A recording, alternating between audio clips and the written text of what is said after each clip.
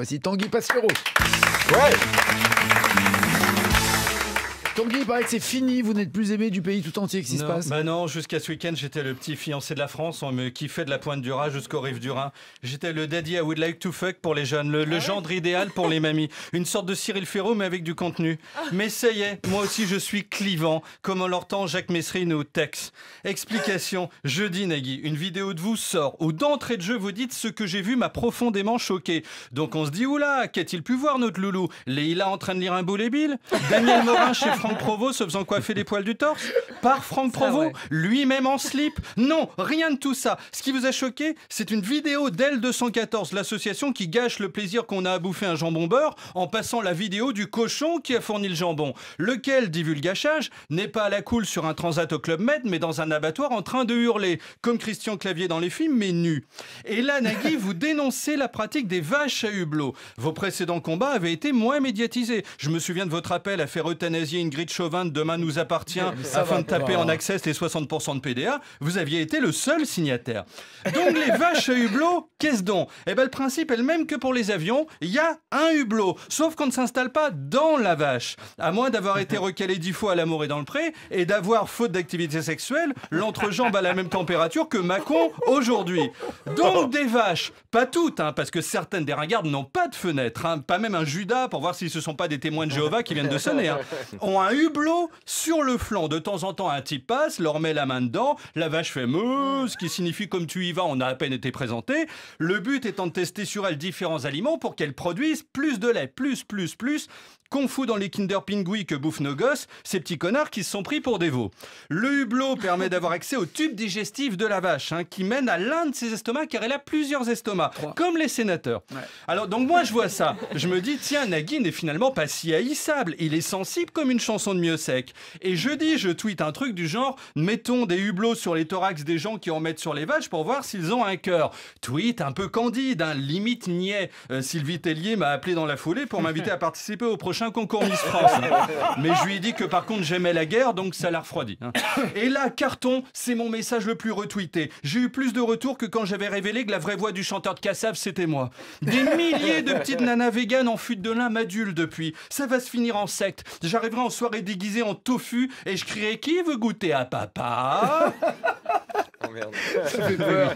Mais Oh, le succès, le succès, ouais, ça fait peur. ouais. Non, le non. succès d'un tweet euh, attise également la colère de ceux qui ne sont pas d'accord. Oui, oui, et plein de gens m'ont répondu, donc je vais leur répondre aussi ici. hein. Alors d'abord, un homme, Gilles Doxer, se, se moque. hein. Il écrit Merci à ce spécialiste des ruminants installé dans le 16e de nous éclairer sur le sujet. Alors, Gilles, stop, je n'habite pas dans le 16e. hein. Non, euh, trop populaire. Euh, Il y a des logements sociaux, un centre de migrants. Moi, je suis à Levallois-Perret, chez Patrick. hein. Euh, très sympa. hein, très sympa. Il fait la bise, hein, parce qu'il a ses deux mains prises, une mallette par main. Donc, euh, voilà. Et non, je ne suis pas vétérinaire. Mais si on ne doit plus parler que de ce qu'on connaît, c'est la fin de l'émission de Pascal Pro. Et, et Gad Elmaleh, il fera quoi? Des sketchs sur le copyright? Ramayad, une chanson sur sa traversée du désert? Non, non.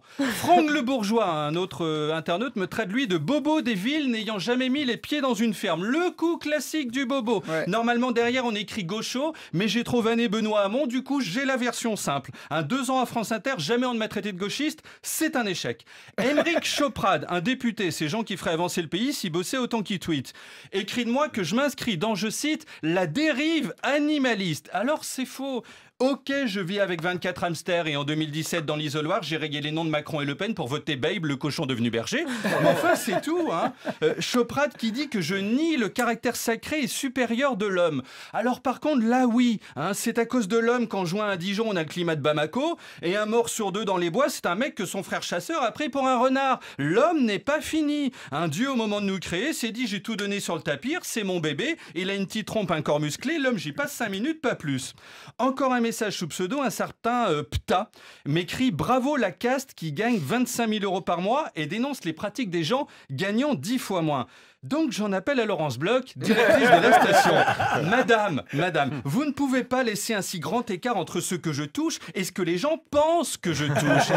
C'est tromper le public, ça. hein Donc on va dire que c'est rétroactif, hein, ça fait 500 000 euros, et tout de suite sur PayPal, Lolo. Alors Joe Black, Joe Black, un autre internaute sous pseudo, m'écrit lui que ça fait 100 ans qu'on met des hublots sur des vaches. Et donc, est-ce pour ça que c'est bien? Euh, La chanson québécoise aussi, c'est vieux, ainsi que le communisme. Donc il il ajoute J'ai mangé une côte de bœuf ce midi. Et là, il imagine que j'ai éclaté en sanglots. Non Pas une côte de bœuf Hein, C'est comme ces types qui foutent une tête de porc devant la mosquée de Cergy de nuit et ont l'impression d'être Charles Martel. Alors non, je ne suis pas vétérinaire, je suis bobo si ça vous chante. L'homme, je m'en fous, je préfère les teckels. Et si je pouvais palper 25 000 par mois, je rachèterais une par une ces pauvres bêtes et laisserais le hublot fermé. Si je veux mettre la main dans un net, ça va, il y a des clubs et les gens sont OK. Sinon, longue vie à la dérive animaliste. Bravo. La bande originale. Nagui sur France Inter.